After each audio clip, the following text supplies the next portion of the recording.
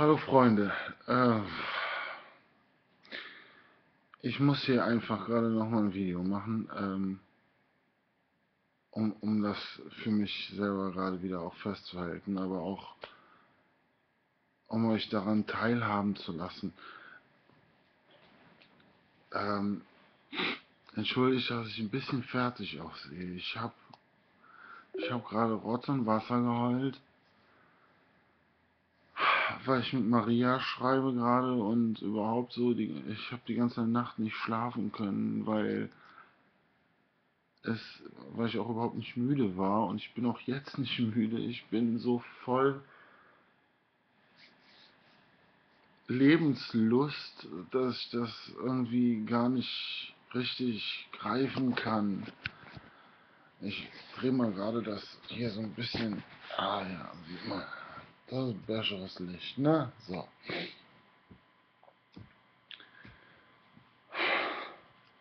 Hummeln im Arsch.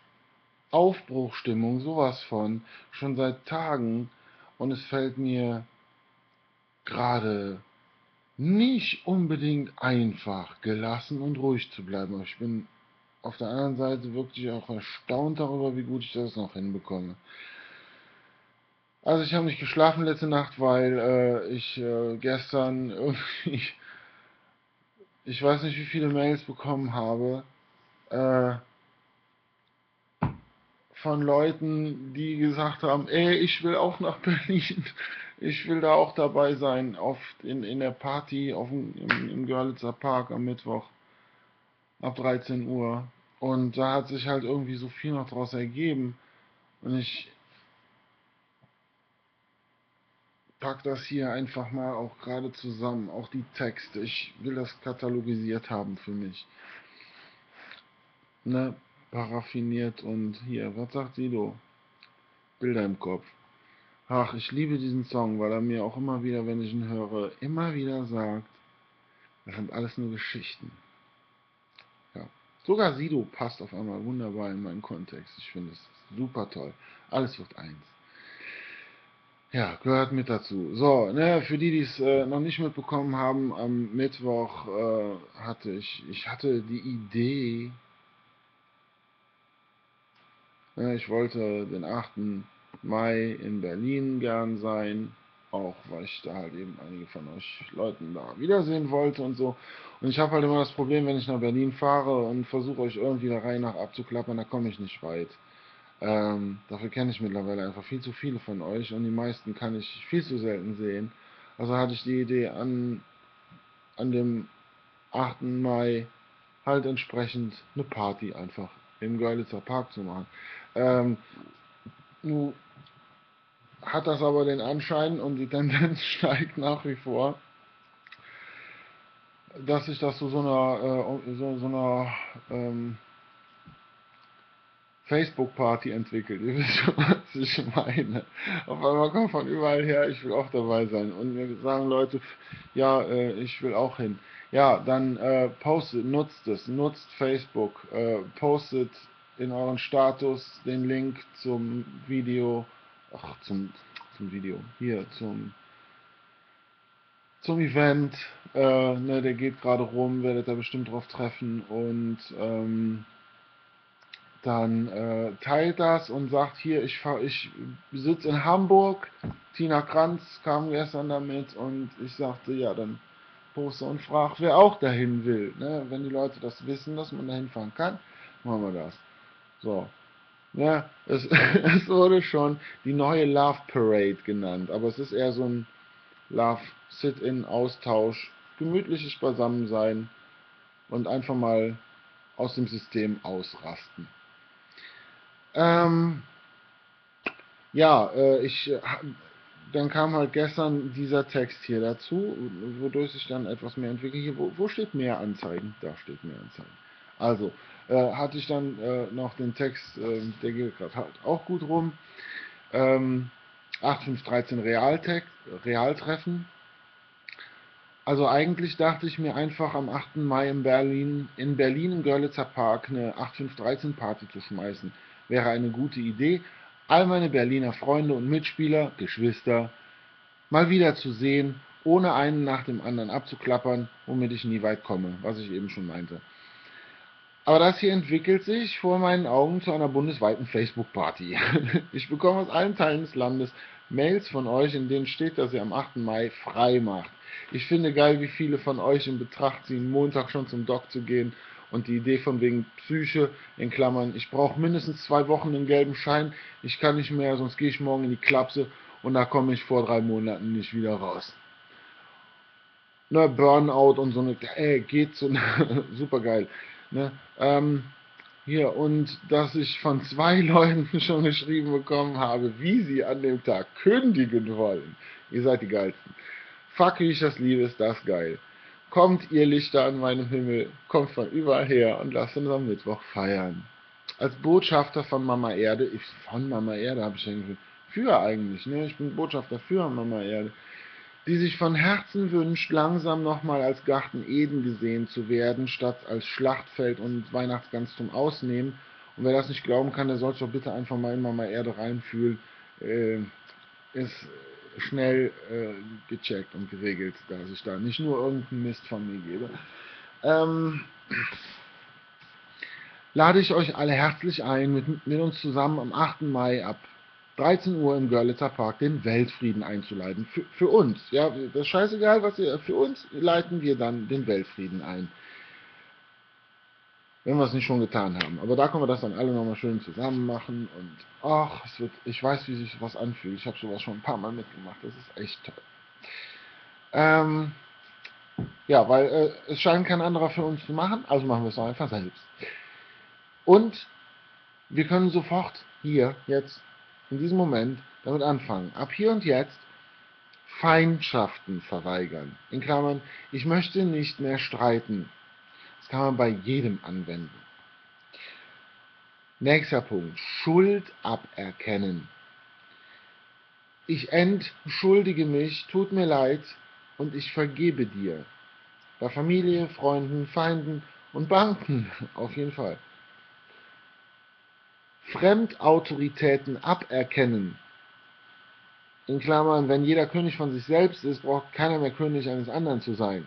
Ne? Michael Sennheiser, meine ich, hätte es gesagt. Und ich habe es in der Folge, seit ich es gehört habe, immer wieder benutzt. Und berechtige damit meine Souveränität. Kann man bei allen Formen von Obrigkeiten anwenden. Chefs, Politiker, Polizei. Tyrannen, Kinder. Gibt alles. Offen denken steht hier als nächstes. Ich nehme XY gerade XZ wahr. Wie nimmst du XY wahr? Wie nimmst du, ich sehe das und das gerade so und so, wie siehst du das?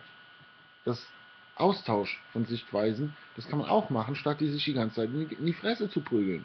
Das ist so einfach, man muss es einfach nur machen hey, ich habe meine Meinung, äh, ist doch cool, wenn ich die auch haben darf, dann dürft ihr auch eure alle haben. Und äh, wie seht ihr die Sache denn so? Hey Mann, dadurch kann ich dazulernen. Das ist Bewusstseinserweiterung, ohne Drogen nehmen zu müssen. Man muss einfach offen denken. Das ist so einfach. So, steht noch YouTube hier drunter. Ne? Da kann man super geil hier. Ähm, Fülle wahrnehmen. Was gerade verfügbar ist, ist wesentlich nicht, was gerade nicht verfügbar ist. Und das dann nutzen. Das kann man überall anwenden. Ne, das ist, so wird man den Mangel ganz schnell los in seiner Wahrnehmung und kann anfangen, Fülle wahrzunehmen, wodurch man Zugang zu allem bekommt. Teilen. Genutzte Dinge sind besser als besessene. Mit allem, was übrig ist, kann man das anwenden. Äh, es ist von allem mehr als genug da. Keiner muss irgendwas geben, was er gerade selber darauf verzichten müsste. Ne, das ist halt so das, was äh, im alten System so, da musst du da, musst du deine Steuern zahlen. Kack egal, ob du das kannst oder nicht. Äh, in dem neuen System geht es einfach darum, das, was, was gerade sowieso nicht gebraucht wird, einfach frei zur Verfügung zu stellen. So, auf die Weise äh, ist wirklich mehr als genug für alle da. Ich muss mir mal gerade eine rauchen, Entschuldigung.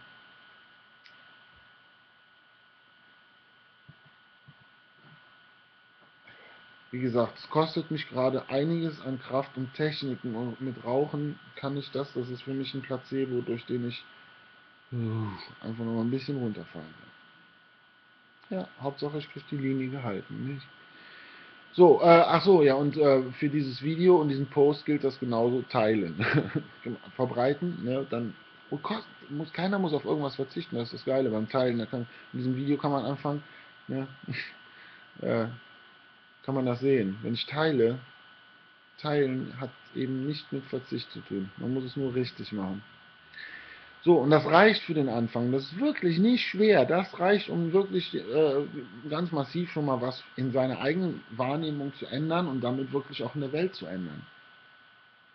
Weil man natürlich danach völlig anders wahrnimmt und wahrgibt, ist doch klar. Und dann, am 8. Mai, kam die nächste oh, das bahnt sich irgendwie schon seit Tagen bei mir an. Ein, ein Schrei. Am 8. Mai um 20 Uhr lasse ich einen Schrei los. Ein Ja zum Leben. Ich schreie es raus, bis meine Stimme nicht mehr mitmacht. Ab 8, äh, ab 8. Mai 20 Uhr soll meine Stimme nichts anderes mehr hören lassen, als Dinge, die mit Liebe, Frieden, Ruhe, Freiheit und lebenswertem Leben zu tun haben. Also das ist bei mir sowieso schon dann explizit ne, in Stein gemeißelt. In meiner Wahrnehmung. So einfach ist es. Und ich lade euch alle ein, egal wo ihr seid, am Mittwochabend ab 8 und so lange und so laut ihr könnt, ja, ja, ja, ja, ja, ja, ja, ja, mit mir zu schreien. Lasst es durch das ganze Land hören. Mama Erde lädt uns ein, wieder im Einklang mit dem Rest von ihr zu leben. Und ich habe ihr ja schon gesagt, dass wir das wollen, aber sie glaubt mir noch nicht so ganz. Schreien wir es raus, damit sie uns hören kann. Und damit wir es hören. Dazu habe ich noch eben noch einen Post geschrieben, den, den kommt gleich. Bleibt kurz am Ball, ich äh, versuche es kurz zu halten. Bis dahin bleibt noch viel Zeit, diese Idee zu verbreiten. Tage noch, das kann man elf. Ne? Und ich bin wie immer dabei. Tu was kann. Ähm, bleibt noch viel Zeit, diese Idee zu verbreiten. Ihr wisst, wie es geht. Da, teilen, liken, irgendwie kommentieren und ihr wisst, wie man, wie, wie man Links verbreitet. Brauche ich nicht zu erzählen, macht ihr jeden Tag. So, und wir wissen, dass die Zeit reif ist. Worauf noch warten? Und wenn Berlin äh, am Mittwoch, Sonntag, Freitag, Donnerstag, was? und und wenn, wer in Belrin ist, also Berlin soll es eigentlich heißen, am Mittwoch, Donnerstag, Freitag, aber Donnerstag ist auch cool. Scheiße, die, die Tage spielen für mich eigentlich eh keine Rolle mehr. Ähm, kommt vorbei und bringt Freunde mit. Görlitzer Park. So. Ne, aus der Jahrschreierei wurde dann halt auch noch was und dann habe ich oh, hier eben noch, muss ich da finden, da, hier, so. Ne, habe ich hier noch Ja gepostet, Ja im Status und mehr anzeigen. So. Und habe ich noch darunter geschrieben, und wenn ich allein da stehe und Ja schreie, bis nichts mehr kommt. Außer denen, die, äh, die, also dann nichts mehr kommt, außer denen, die mich dann für bekloppt halten und wegsperren wollen brauche ich Ihnen einfach nur die Links zu dieser Aktion zu zeigen und kann Ihnen entgegengrinsen, nein, meine Freunde, das ist ganz und gar nicht verrückt. Damit stehe ich nicht allein da. Und Sie gleich mit infizieren. Ich bin ja dafür, äh, dass man das für eine Weile jeden Abend zusammen machen sollte. Mal sehen, wie oft wir schreien müssen, bis wir eine Antwort hören. Und da laufen wir dann hin. Da finden wir andere Bekloppte. Ja, ne, eine von den Bekloppten ist die Maria.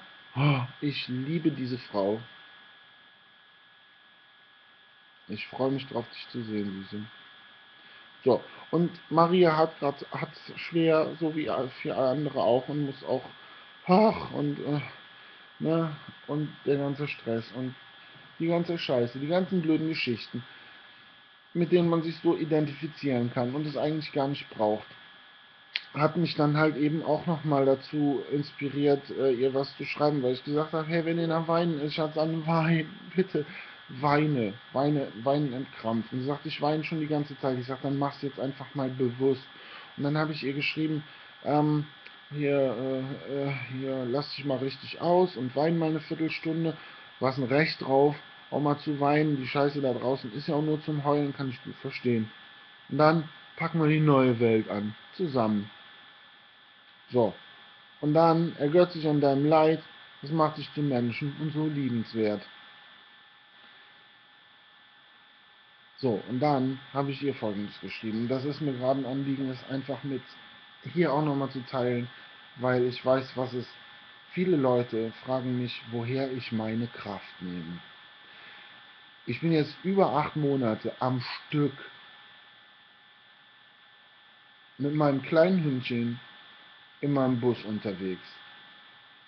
Es ist in diesen acht Monaten zweimal passiert, dass ich an einer Stelle zwei Wochen geblieben bin. Oder ich glaube sogar zweieinhalb. Es gibt für mich keinen Urlaub. Aber ich bin ja zum Glück der Urlauber. Und kann dadurch, dass ich alles mache wie im Urlaub, das halt eben auch machen.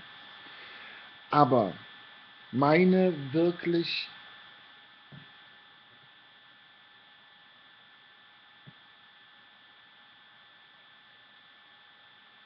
effektivste Krafttankstelle möchte ich euch jetzt mal zeigen. Und wenn ihr möchtet, macht einfach mal mit. So, und sollte ich jetzt wieder anfangen zu heulen, scheiß drauf, ist mir egal. So. Ich lese es einfach vor. Mach mal die Augen zu. Ich lese es vor. Augen zu. Und dann stellst du dir Mama Erde mal vor. Als den großen blauen Planeten, der sie ist. Unser aller Zuhause. Und stell dir dabei nicht nur das Bild vor, sondern fühl sie, wie sie gerade im Moment ist, mit all dem Leiden und all der Hoffnung und dieser geballten Ladung Liebe. Und dann nimm sie in den Arm. Leg deine Arme um sie und deinen Kopf darauf und kuschel mit ihr. Lass dabei alle Energien in dir fließen. Lass für den Moment einfach mal alles zu. Und dann fühl, wie sie dich auftankt, unsere Mama und wie sie dich liebt und nur für dich da ist in den dunkelsten Stunden deiner Geschichten.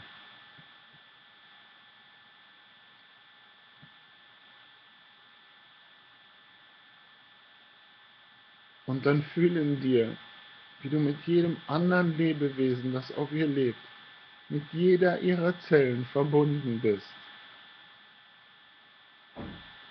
Verbinde dich mit diesen anderen Lebewesen und umarme jedes einzelne davon. Und sag, ich entschuldige mich. Ich wusste nicht, wie ich mich anders verhalten sollte. Und ich vergebe dir alles, was ich dir je vorgeworfen habe.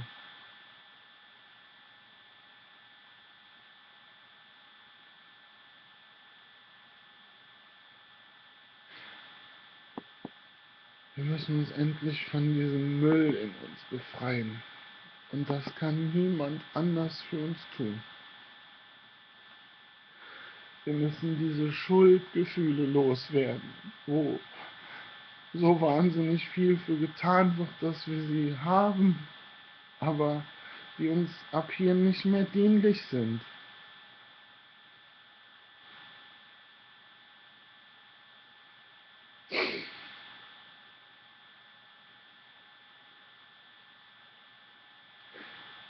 Ich habe mich in meinem Leben so schuldig gefühlt.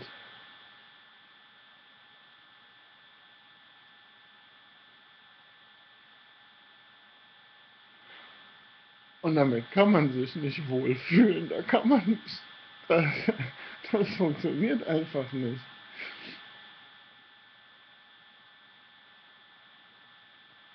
Wir müssen das loslassen. Wir müssen uns allen unsere Schuld nehmen. Wir müssen uns entschuldigen und uns vergeben.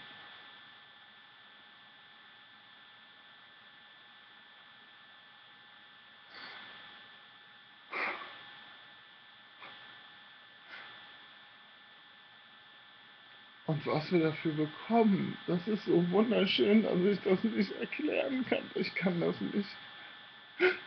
Ich kann es nicht beschreiben.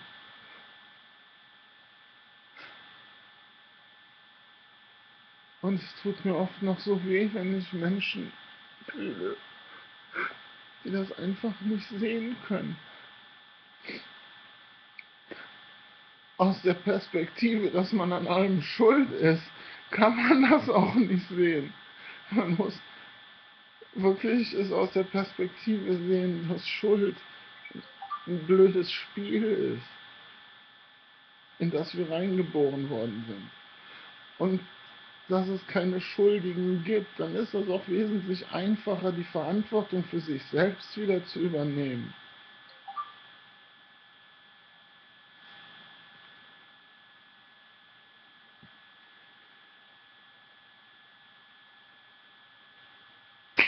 Macht was draus. Ich wollte gerade nur mal laut denken. Dankeschön.